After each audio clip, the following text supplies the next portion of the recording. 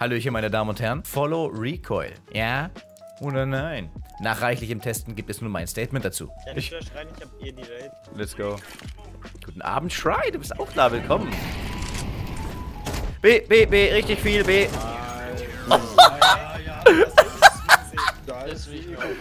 Kiwi, das war alle fünf, weißt du, mit der Hand vorm Gesicht. Wo sind wir? wie man in diesem Clip sehen konnte, hat es mir sehr geholfen. Später kommt auch noch ein anderer Clip, bei dem ich das zeigen konnte, wie sehr es mir unter die Arme greift. Für die ganz Neuen hier in Counter-Strike eine kurze Demonstration, was das Follow Recoil überhaupt bedeutet. Wenn ich es ausschalte, dann ist das Verhalten vom Fadenkreuz so wie in jedem Counter-Strike-Teil auch. Ihr schießt, haltet gedrückt und franzt hier ordentlich rein. Könnt euch das Pattern anschauen. Das ist das Recoil-Pattern der AK. Profis hocken sich hin und üben das und üben das und üben das, um eben dann in dem Fall auf dieselbe Position zu schießen. Also sie ziehen langsam mit der Maus nach unten, in dem Fall, um auf einen Punkt zu schießen, während man sprayt.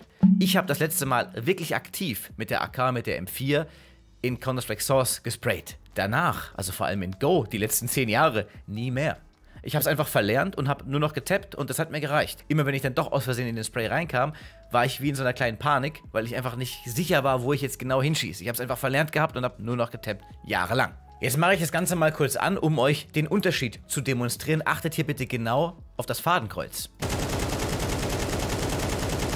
Und guck mal einer, schau, das springt genau an die Punkte, auf die man auch schießt in dem Moment. Profis lernen die Sprays, so wie eben auch und auf verschiedenen Maps eben auswendig, um damit gut spielen zu können. Wenn man aber ein Keck ist, so wie ich, und oder auch einfach nicht so viel Zeit hat, dann ist diese Follow Recoil Option wirklich Gold wert. Und jetzt erkläre ich kurz warum. Ich habe es ja eben schon leicht durchblicken lassen. Wenn du Sprays von der AK, von der M4, von der Galil und so weiter und so fort, es gibt ja auch viele Waffen, wirklich auswendig lernen wolltest, bis dato, musstest du dir das Spray anschauen und es immer und immer und immer wieder trainieren und das mitunter eben auf speziellen Maps oder an Wänden, aber natürlich auch einfach im Spiel.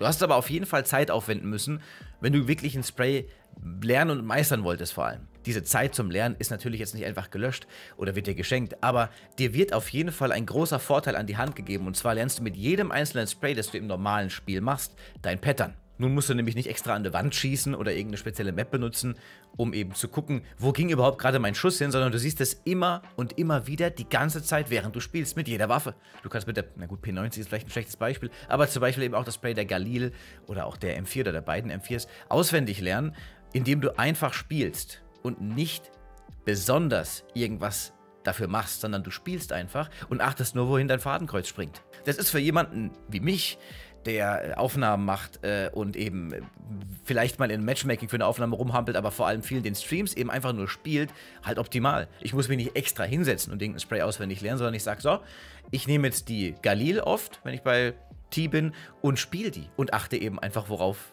das Fadenkreuz zuckelt. Du hast also ständig mit jedem Dauerfeuer, das du schießt oder machst, eine Visualisierung des Sprays. Immer und immer und immer wieder. Und was macht den Meister? Richtig Übung. Aber in dem Fall eben keine spezielle Übung, sondern einfach spielen. Ich schieße ein bisschen rum und guck, was passiert. Du musst noch nicht mal initial an der Wand schießen und gucken, ah, das Spray geht so und dann hm, und dann nach hinten, sondern du gehst einfach rein und spielst und siehst, wo dein Fadenkreuz hingeht. Hier ist noch ein Clip, da hatte ich die Option ziemlich frisch angeschaltet. Meine Flash ist es. Kettle, Kettle, ich glaube echt, das ist es. Kettle, ich glaube echt, das ist es. Jungs, lasst mir was übrig. Der, der Follow Recoil ist es. Ich konnte genau sehen, wo ich hinschieße. Das ist schon geil. Und um es hier auch nochmal mit aller Klarheit zu sagen, ich habe bis dato eigentlich nie gesprayt in Go. Ich habe getappt und das mitunter auch gut, aber auch nicht immer. Und meine Sprays waren, wenn sie mal kamen, ein, ein Versehen, beziehungsweise ich kam dann nicht mehr raus. Ich habe dann zu schnell getappt und dann ging es langsam in Dauerfeuer über. Da war aber nie Confidence mit dabei. Mir ist klar, dass hier im Hintergrund jetzt keine krassen Sprays dabei sind, aber jedes einzelne Spray ist ein konfidentes Spray von meiner Seite aus. Mit Spaß auch dahinter. Ich habe richtig Bock, selbst auf eine gewisse Range einfach zu sprayen. Wobei ich hier ja fast ausschließlich auch auf Long Range gesprayt habe und mitunter auch äh, gar nicht so übel. No. Ein bisschen später habe ich sogar gesagt, es fühlt sich, da bin ich dann nochmal drüber rasiert, aber das wollte ich jetzt nicht noch raussuchen. Da habe ich gesagt, es fühlt sich wie ein Aimbot an. Also eine Aim-Unterstützung zumindest. Das haben übrigens auch einige bestätigt äh, wiederum. Also einige Cheater haben unter Videos, unter denen eben dieses Thema auch schon aufgegriffen wurde und auch in Foren gesagt, hey übrigens, es gab diese Option eben für Cheater auch schon im Vorfeld. Das ist auch ein Teil der Aim-Unterstützung, dass du eben sehen konntest, wohin dein Fadenkreuz zuckelt, beziehungsweise wohin dein Pattern geht. Ich weiß nicht, ob das dann auch mit dem Fadenkreuz umgesetzt wurde oder mit irgendwelchen optischen Punkten. aber äh, es hat wohl auch mit in Cheats reingespielt und es ist jetzt echt eine witzige Sache aus deren Sicht, dass sowas offiziell in Counter-Strike drin ist. Natürlich muss man hier jetzt auch unterscheiden, für wen ist das gut, für wen ist es schlecht und wem könnte es möglicherweise auch schaden.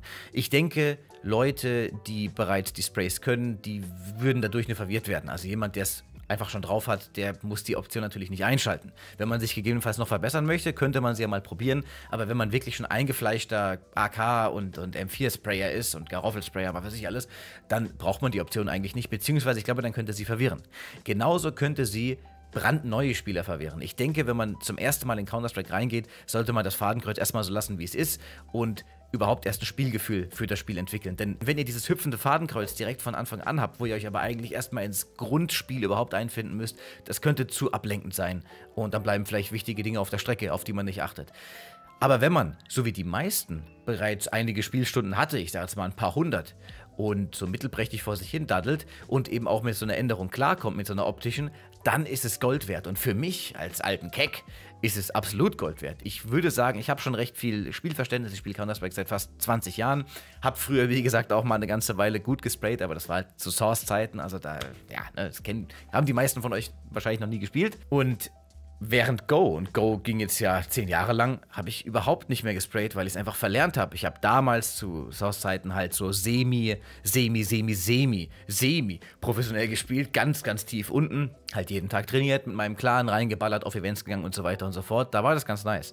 Aber ja, Source ist verschwunden, Go ist gestartet und für mich war Go so ein reines YouTube- und Twitch-Pferd dann ab einem gewissen Punkt. Ich habe es einfach nur dafür gemacht, für die Unterhaltung. Ich bin im Sprayen dann ganz schnell extrem unsicher geworden und habe dann einfach nur noch getappt und das mit unter oder manchmal auch ziemlich erfolgreich, aber sobald ich halt in den Spray kam, dann war es reines Luck, ob ich treffe oder nicht. Und mit dieser Option Follow Recoil ist es eine geile Meile. Manch einer sagt jetzt aber halte ein, mein Freund. Was ist, wenn die Option verschwindet? Und mit einem gewissen Update einfach rausgepatcht wird. Ich sage, das ist dann natürlich bitter für die, die das Video dann sehen und es nutzen wollen, aber es nicht mehr vorfinden, weil es weg ist.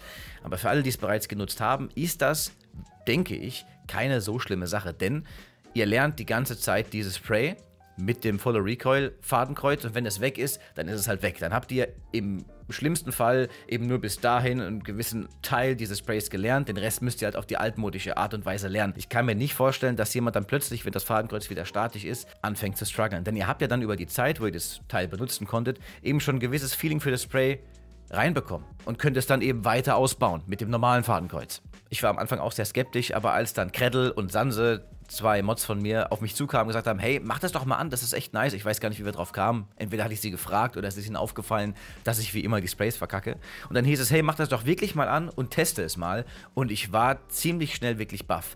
Bei den Pistolen muss man halt da muss man drauf klarkommen, ne? weil wenn du halt zum Beispiel mit der Diegel schießt, das Fadenkreuz in der Mitte, macht auf einmal, duff, es geht weg und dann geht es wieder in die Mitte. Was natürlich auch wiederum für Leute, die Diegel nicht so oft spielen, direkt ein Riesenvorteil ist, denn ihr wisst, sobald es wieder in die Mitte zurückgeht, erst dann solltet ihr wieder schießen und nicht davor. Außer ihr habt davor eben das Fadenkreuz, dieses Schiefe, das irgendwo hingeht, auch auf den Gegner drauf. Dann könnt ihr auch direkt wieder abdrücken. Wenn man mit der USP oder der Glock am Dauerfeuern ist, ist es halt ein bisschen komisch. Eine gewisse Eingewöhnung muss stattfinden. Aber ich sage, es lohnt sich auf jeden Fall. Mit der Tech 9 zum Beispiel bin ich damit auch ultra am reinbrezeln, weil ich halt genau sehe, wie der Hase läuft. Ich würde sagen, dass es mich vielleicht die ersten 10, 20 Minuten so ein bisschen gestört hat. Aber dann ist es schon so richtig eingeflossen in mein Spiel. Ich habe in den letzten beiden Streams komplett damit durchgespielt und auch privat damit weitergespielt und kann es wirklich nur empfehlen. Wenn man es anmacht und es stört einen nach einer Stunde oder zwei immer noch sehr, gut, dann kann man es einfach wieder ausschalten. Aber so an sich ist es, denke ich, die anfängliche Verwirrung wert. Denn ihr lernt, wie gesagt, mit jedem Dauerfeuer, mit jedem Spray, den ihr in-game macht, die Pattern der Waffe, die ihr halt in der Hand haltet. Ne? So viel zum Thema Follow Recoil Control. Wenn ihr das live sehen wollt, kommt gerne in die Streams. Da habe ich es auch durchgehend an und bin damit eben am rein jallern. Ihr könnt auch gerne Waffen vorschlagen, die ich spielen soll. Sofern wir nicht gerade ultra am Verlieren sind und ich wirklich reinschwitzen muss, dann kann ich nicht den Negev kaufen oder sowas, bitte. Aber ja, in den Streams wird damit reingedattelt. Dreimal die Woche, jeden Dienstag und Donnerstag ab 18 Uhr und jeden Freitag ab 20 Uhr. Rankommen, mit dabei sein. Vielen lieben Dank fürs Zuschauen, für die Kommentare, für die Likes. Wir sehen uns im nächsten Video oder im nächsten Livestream. Lasst es krachen und later. Mit Instagram kleben die Sachen ziemlich einfach. Von Papa wünsche ich mir 100 Rollen. Dann zur Weihnachtszeit, dass ich mal langsam ein Kartoffelflip esse. Denn dann gibt mir deine dicken fette Mutter auf die Instagram-Map.